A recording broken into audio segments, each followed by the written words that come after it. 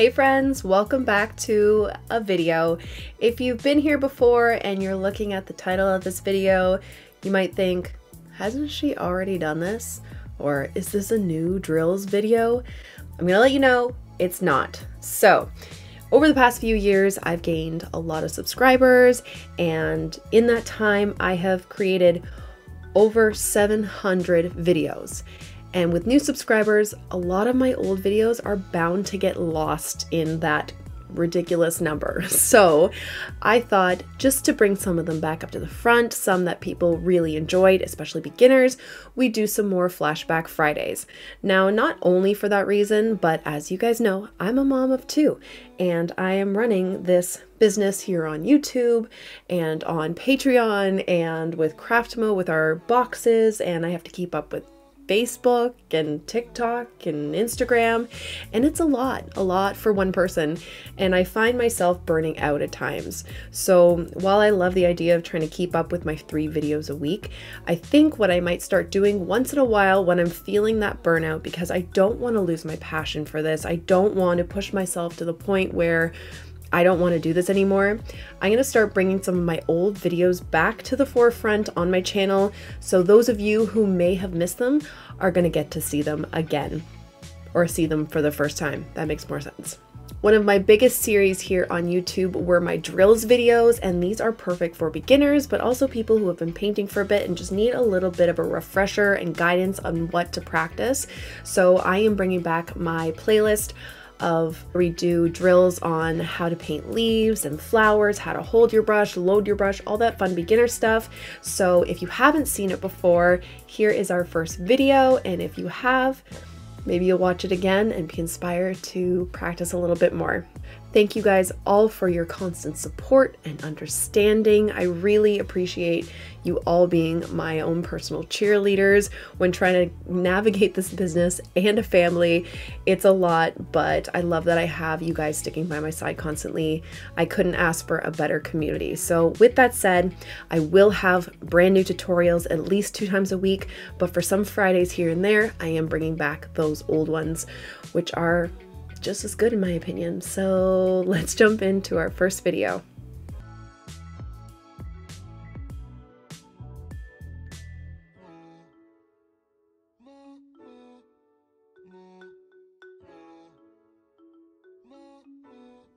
Okay, so to start, I'm just gonna tell you what materials I'm using today. Today I'm painting on Canson watercolor paper, which is my cheapest watercolor paper. You do not need anything high quality for this. I have my Winsor Newton Professional Watercolors in my palette, but I also have my Cotman pan set. I'm going to be showing you both, um, just how I would use both. What I don't recommend is using tube paint straight out of the tube. We tend to use a lot more paint than we need, so make sure your paints are dry. I also have a few different brushes with me. You don't need multiple brushes, but I'm just gonna show you the brushes that you're gonna see in this video. I have my Craftamo size 10, my Princeton Snap size 6, and I also have Wonder Forest brush in a size 8. They're all round. And we're ready to go. Okay, so this should have been a part of my drills video series, but I didn't think about it about it. Um, and then I had a couple questions from beginners asking, how do I load my brush? How do I hold my brush? And I thought, you know what, I should have addressed this. And then also working with my niece, I noticed a few things. So I'm going to go over different things today. And today we're just practicing. So get out your cheap paper, your watercolors, your brush, and let's get started. So as you can see, I've written down some things that we're going to test out on this paper just to get you familiar with how much water you should use and how you should hold your brush and what that is going to do for your paintings. Okay, so the first category I have here says a little bit of water on your brush and dry paint. So as beginners, sometimes we don't really know how much water we need on our brush and how much paint we need on our brush. So here's our water. Um, and this is one thing I see beginners do a lot. They have a completely dry brush. They dip it in their water once like this, and then they put into paint. And I want you to try that and then paint on your paper. See how it's dry there? You're getting that dry brush action. action. And that's because there's not enough water on your brush and there's not enough water in the paint. The paint hasn't had enough time to activate and your brush hasn't had enough time in water to soak up the water in the bristles. So that's when you get this dry brush action going. Now it says try a dry brush in a puddle of paint. This might be a little bit easier. So my brush is a little bit wet. I'm just gonna wash this off and I'm gonna try with another brush that's completely dry. So when I say a puddle in paint, what I usually mean is when there's a little, I want you to create a puddle. So I'm just going to, either you can do this with a spray bottle or you can actually take your brush with water. I'll just take another brush and you put droplets into your water so it creates a little puddle or you can activate your paints like this until there's like a little puddle in your paint. So I'll just show you what that looks like. See how there's a puddle there? That's giving the paint enough time to activate. So once you pick up that paint, even with a completely dry brush, which I don't recommend, I always recommend that you have your brush nice and wet, which I'll show you in the third column here, but it's still a little bit better than just dunking it once and having a dry paint. So there's a puddle here. Okay and you can actually use that puddle to paint. It's still dry because we need our brush wet, but it's a little bit better. You can pick up a little bit more paint that way because there's water. So what I want you to remember is that water is an essential part of watercolor painting. Now we're not as used to that if you paint with acrylic or maybe oil, but watercolor needs water. Now we do run into some problems when we have too much water, which I will address or I have addressed in multiple water control videos, but I don't want you to be afraid to use water. Now for our next column, it says wet brush and puddle and paint. So this is what I want you to think when you are starting to paint. I want you to wet your paintbrush. You can swish it around like this. You can dab it on the bottom gently. Get that brush nice and wet. And then when you start with dry paints, you're gonna take that sopping wet brush and you're going to put it into your paint and create a puddle. So you have a really nice wet brush and a puddle of paint. Start activating it by swishing it around. Now look at the difference. This is a different color, but look at the difference. I can go, I can keep going with this, okay? You have tons of water and tons of paint, which is gonna help you paint for longer strokes and it won't get all dry like this up here. Now this is a dry brush technique which you can actually use in painting. So it's good to practice this too so you know how to achieve this if you want to add a little bit of texture into your painting. But essentially what we want is this, okay? So you can use that for a technique, but this is what we want. Let's try it again. So let's wash off our brush, get it nice and wet. Add a puddle. Here's a dry paint. And we're gonna activate it by swishing it around a bunch. So you have that little puddle. Hope you guys know what I mean by like a puddle, okay? And then you can start painting. Okay, see the difference?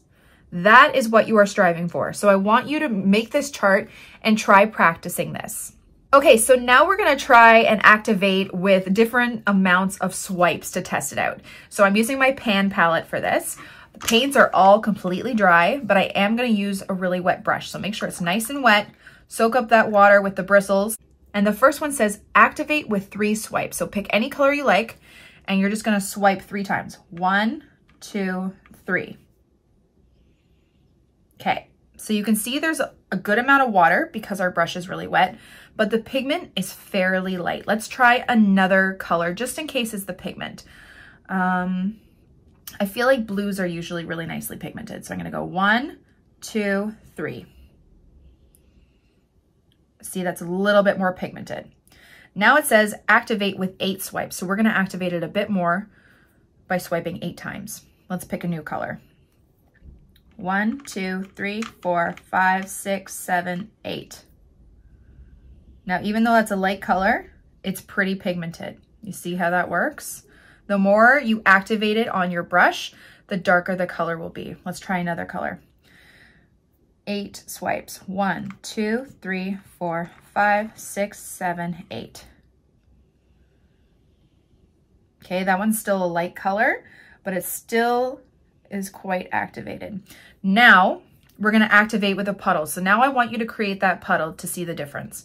So let's actually create the puddle in these two to see if there's a difference. So I'm gonna put a decent amount of water in there. Okay, and the puddle looks a little different on these ones because they're pans, but we're really gonna swish it around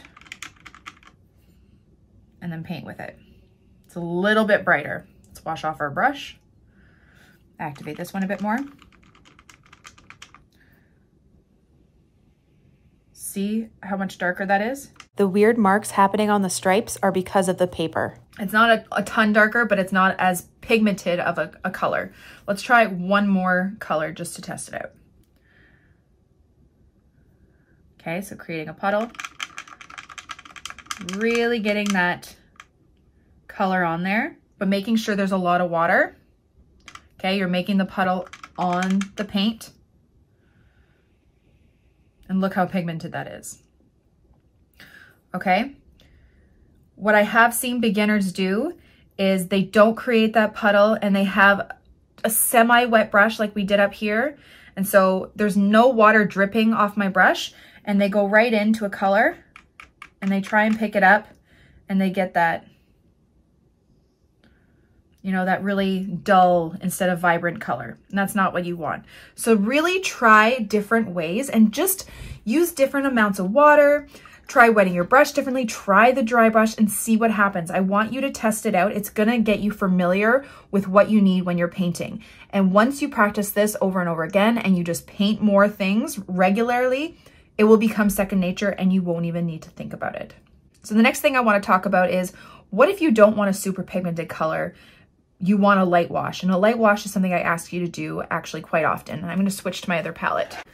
Now for this, it's still easiest to create a puddle and really activate that paint. So these are all dry.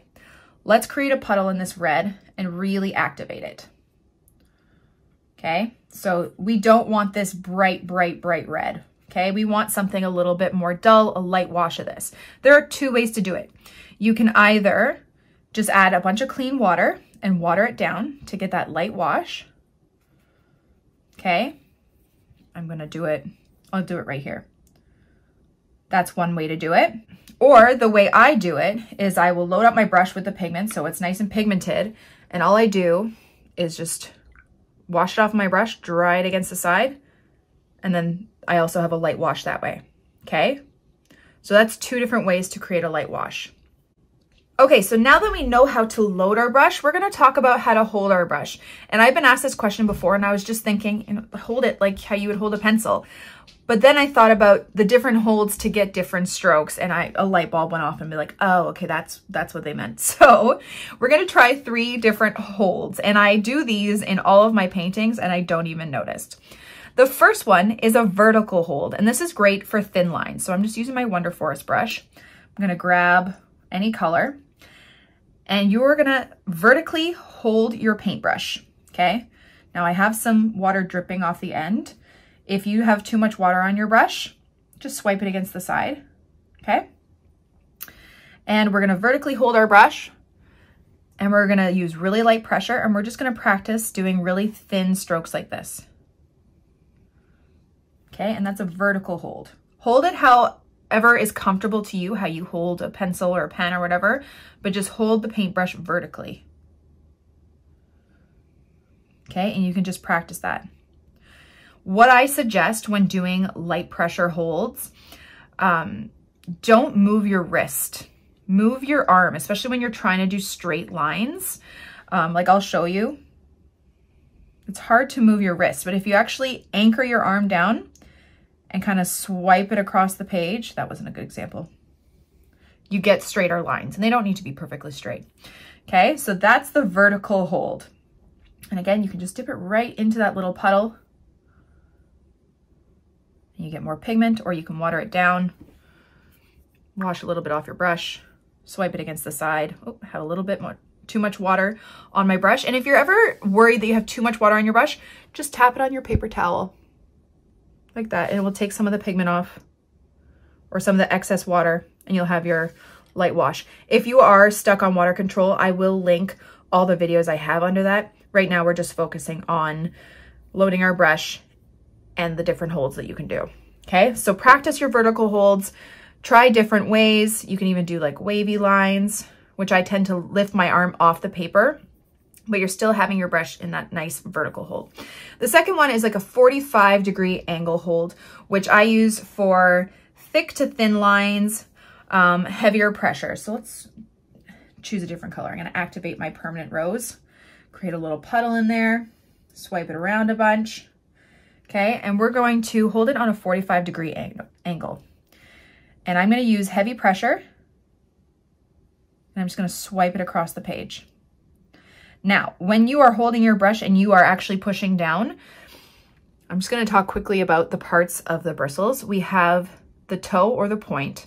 We have the belly of the brush, which is the middle, the biggest part. And then the part where the, brus the bristles meet the ferrule, that's called the heel. One thing I've noticed with beginners, beginners tend to paint very gingerly and they like are afraid to put pressure. Okay, see the difference in the thickness in that line? What I want you to do, don't be afraid, really push down to the heel. Not so hard that you're wrecking the bristles, but give nice firm pressure to get those thick lines. And don't be hesitant to put paint on your paper. I see that a lot with beginners too, Hesit hesitancy. You're afraid that if you put the paint down, you're gonna mess up. That's how you learn, okay? Go for it. I really want you to just practice these lines and just go for it. Put that pressure right down, not right to the heel, not where it's like scraping the ferrule, but nice pressure, okay? And if you have a good brush, it should bounce right back. That's also a test to see if you have a nice brush that is good quality. Okay, so that's what I want you to do. Um, you can also practice those strokes that we did in our floral drills video where you go heavy to light pressure or light to heavy pressure. So light pressure, heavy pressure, light pressure. Sometimes I'll alternate by doing 45 degree vertical, 45. Okay, so 45, bring it up. Okay, like that just practice over and over again. I'm telling you, these drills may seem funny, but you know what? It would be even really nice to create patterns of stripes, just practicing these different holds, and you can still create a really nice piece of artwork. Okay, so there's the 45 degree hold. Now, the next one is a horizontal hold, and that's basically when your brush is right on its side and you're using as much of that surface area of the bristles that you can. And instances where I do this is when I'm blending something out. So I'm just gonna show you quickly. Let's pick a different color. Let's activate our yellow. Okay, so when I talk about blending something out, I mean you're laying down your color and you wanna blur that hard edge out. So I'm gonna completely wash off my brush, no pigment. I'm gonna just dab it a little bit on my paper towel so it's not too, too wet. And I'm going to touch the edge of that line, hold my brush at a horizontal angle, and let that color bleed. I left it a little too long. See how it's dry over here? That's also, you can tell that it's not the best quality paper. Let me try again. I have to work a little bit faster. Wash on my brush, dry it, touch that edge so it bleeds out. Okay, so you can see that really the edge of that brush ends right here. It's wet from here to here. And that gives you a really nice soft edge. Let me try a little bit faster. I'll try with a darker color. Okay, so we do this really nice bold line and we wanna thin that or blend that edge out, wash off your brush, dry it just a bit, hold it on a horizontal angle so you get enough space for that color to bleed. And even though you don't see the edge where it bleeds, it gives that pigment enough room to move as far as it can. Okay, and then you get a really nice soft blend. this works way better on higher quality paper because it stays wet a bit longer. So as you can see here, it blends out really nicely. And as we get over here, it starts to blend less just because it dried faster here. But on nice, good quality paper, it should blend all the way. Let's do it one more time. Let's grab a blue or yeah. Okay, nice and dark. Wash off your brush, dry it a bit on your paper towel.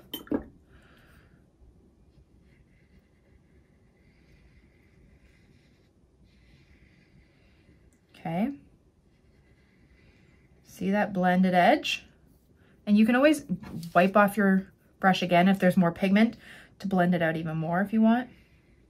You drag it down, but it's usually at a horizontal kind of hold like that. And you can always load up your whole brush and just do a horizontal hold with dark pigment and get a nice thick line. That is totally acceptable too. But just thinking about it, this is how I most often use a horizontal hold, hold but you can definitely do it that way too. So there you go. That's how you load your brush. That's how you can hold your brush to get different effects, different textures, different lines, all of that fun stuff. Practice over and over again, even just fill up a whole page of different lines, just getting used to the amounts of water and the different holds, and you'll be a pro in no time. Thank you guys so much for watching my video. I really hope you liked it and I hope you learned something. Don't forget to subscribe to this channel if you're looking for other content on here. Go back through my playlists. I've created playlists about flowers, beginner stuff, mixing, color mixing lessons, um, color matching. I just, I have a ton of stuff on here.